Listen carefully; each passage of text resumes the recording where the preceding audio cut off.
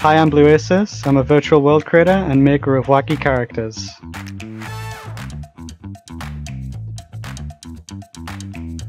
The type of content that influenced my art style is everything from 90s Nickelodeon TV shows and PlayStation 2 3D platformers. The avatars I made for the default role, my quest compatible worlds The Junkyard and Grappling Adventure Hook Junkers, both of which you may have seen in the VRChat community spotlight.